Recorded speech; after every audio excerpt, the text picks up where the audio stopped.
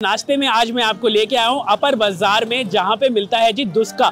ये है यहाँ का स्टेपल डाइट ये है यहाँ का नाश्ता जो कि लोग खाना पसंद करते हैं। और मैं आपको लेके आया हूँ सौ साल पुरानी दुकान पे। भाई, इनका दुस्का, इनके यहाँ के समोसे और इनके यहाँ की जलेबी के ना लोग दीवाने हैं।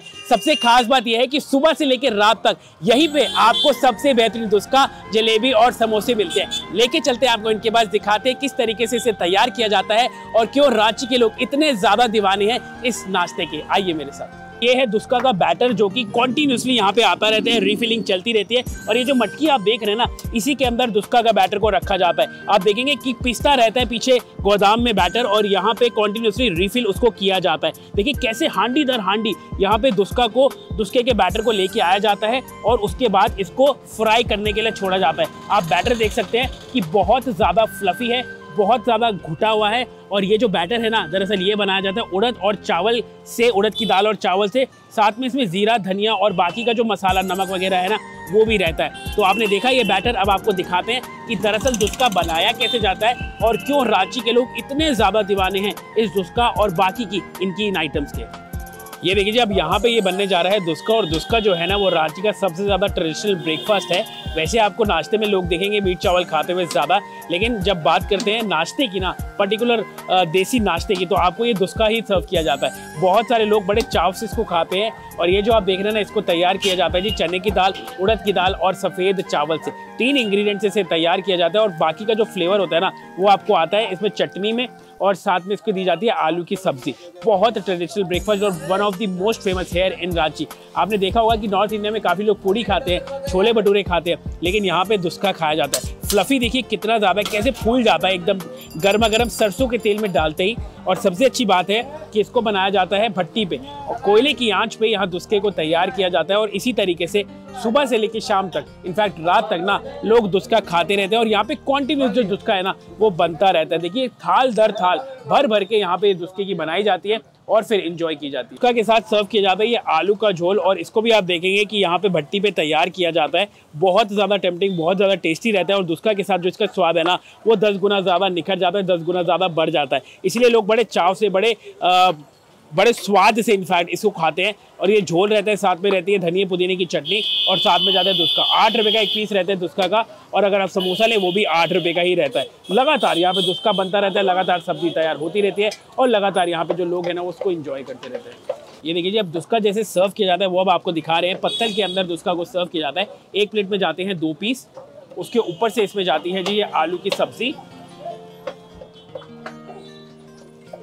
और ये कितने की रहती प्लेट सोलह रुपए की प्लेट सबसे खास बात इस दुकान की ये है कि जी गर्मा गर्म यहाँ पे जो सौदा है ना, वो बनता रहता है। गर्मा गर्म ही आपको सर्व किया जाता है। अभी देखिए, दोस्का का पूरा लॉट जो है इन्होंने बाहर निकाल लिया। अब गर्मा गर्म जो समोसे हैं ना, वो यहाँ पे फ्राई किए जा रहे हैं। और सच बता रहा हूँ, कोयले की आँच पे कभी अगर आपने समोसे नहीं खाए ना, भट्टी वाले तो एक बार रांची में आके यहाँ पे ट्राई कीजिएगा, आप सारी जगहों का स्वाद भूल जाएँगे। एक स्मोकीनेस एक अलग ही फ्लेवर आता है इनके इन समोसों के अंदर और शायद इसीलिए लोग इतने ज़्यादा दीवाने हैं। शायद इसीलिए सुबह से लेकर रात तक यहाँ पे ये चूल्हा, यहाँ पे ये भट्टी चलती रहती है और इसीलिए इनके जो समोसे दुस्का और साथ में जो जलेबी है ना, वो कॉन्टिन्यूस बिकता भी रहता है। भाई, नाश्ते के शौकीन है अच्छा अलग कुछ रांची में ढूंढ रहे हैं, मटन और चावल के अलावा ना तो यहाँ पे आके इनके समोसा दुस्का और साथ में जलेबी ज़रूर ट्राई कीजिएगा। ये देखिए जनाब, यहाँ पे जो अब समोसे हैं ना, वो क्रिस्पी फ्राइड हो चुके हैं और जैसे कि मैंने आपको बताया कि अगर आपने भट्टी पे तैयार किए हुए समोसे एक बार खा लिए ना तो आप बाकी सारी जगहों का जो स्वाद है ना, वो भूल जाएँगे। भाई, बहुत लाजवाब तरीके से इसे तैयार किया जाता है और यही है भाई यहाँ की खासियत।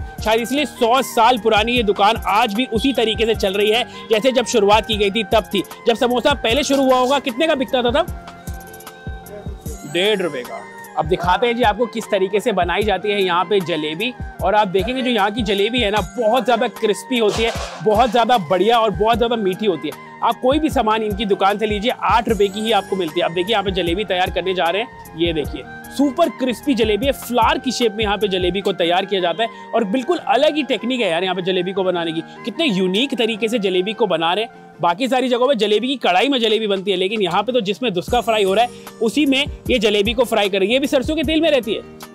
ये रिफाइंड में रहती है, ठीक है जी। तो यहाँ पे रिफाइंड में ये जलेबी को तैयार किया जा रहा है। आप देखिए कितनी क्रिस्पी है, कितनी ज़्यादा पतली है, और ये भी आठ रुपये का ही पीस रहता है। भाई, बिल्कुल जैसा वेफर्स होता है ना, बिल्कुल वेफर्स की तरह पतली है यहाँ की जलेबी। और यही खासियत, और मुझे भी ना ऐसी ही जलेबी खाना पसंद है जो पतली हो, जो क्रिस्पी हो, जो कुरकुरी हो, जो करारी हो, और उसका जो स्वाद है ना, वो बहुत निकल जाता है। अब यहाँ पे जलेबी जब तैयार हो जाती है, अगर हम इस चाशनी में डाला जाता है, आप देखेंगे ऑरेंज कलर की चाशनी है यहाँ पे।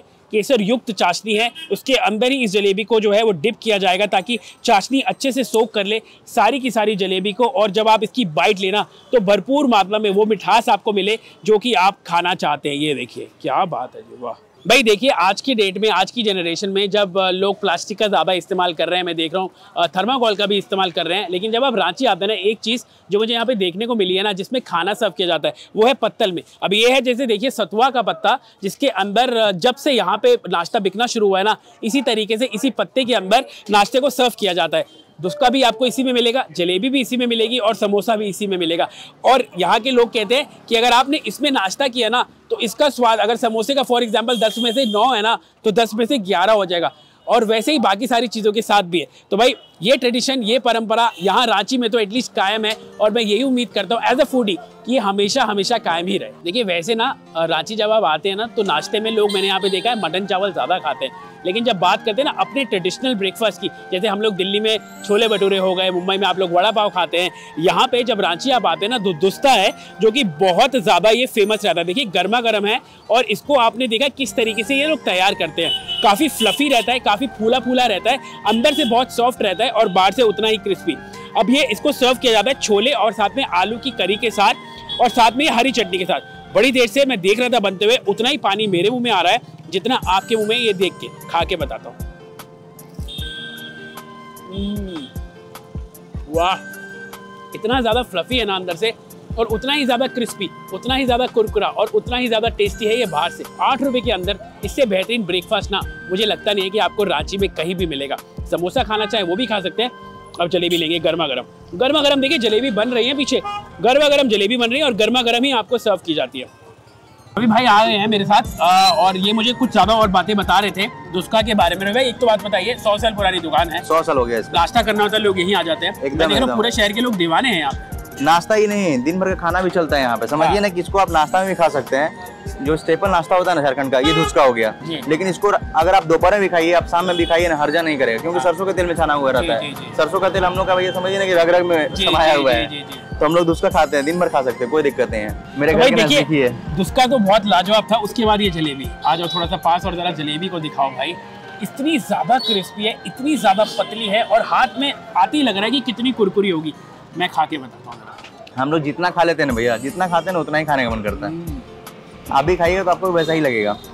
साथ में जो धनिया की चटनी देते हैं ना, सोने पर सुहागा हो जाता है। इसके ऊपर तो गाना निकाल दिया है बहुत लोग धुसका बर्रा खाएँगे, झारखंड में बस जाएँगे। क्या बात है। भाई, ये बात तो सही है धुसका बर्रा खाएँगे तो झारखंड में बस जाएँगे। लेकिन अगर ये जलेबी भी खाएँगे ना तो ये भी आपके दिल में बस जाएगी। ये मेरी श्योरिटी है, बड़ी क्रिस्पी है जैसी मुझे पसंद है, बड़ी कुरकुरी है। और साथ ही साथ चाशनी से एकदम लपा लपा देख लो हाथ में एकदम चाशनी से लग गई है। तो भाई, मैं तो यही कहूँगा कि अगर आप रांची में आए नाश्ता ढूंढ रहे हैं ज़्यादा दूर मत जाइए अपर बाज़ार में आइए। हाँ अपर बाज़ार इसको अंग्रेज़ गली आगे अंग्रेज़ गली हो गया। हम्म। अपर बाज़ार का चौक हो गया। ठीक है। और किसे भूल लीजिए दुस्का का दुकान हाँ, अरे पूरा दुस्का पूरा परिवार में कहीं भी मिल जाएगा लेकिन इनका जो है मेरे को लगता है एक नंबर ओल्डेस्ट है। ओल्डेस्ट है। आइए खाइए और बताइए कैसी लगी आपको हमारी ये रिकमेंडेशन लेकिन हमारी जो खाने की तलाश है वो तो चलती रहेगी और हाँ एक और बात चैनल पे नहीं है तो सब्सक्राइब कीजिए। और मिलते हैं फिर आपसे अगली बारी कुछ नया कुछ अनोखा कुछ अलग स्वाद के साथ। जलेबी खा के तो जाइए।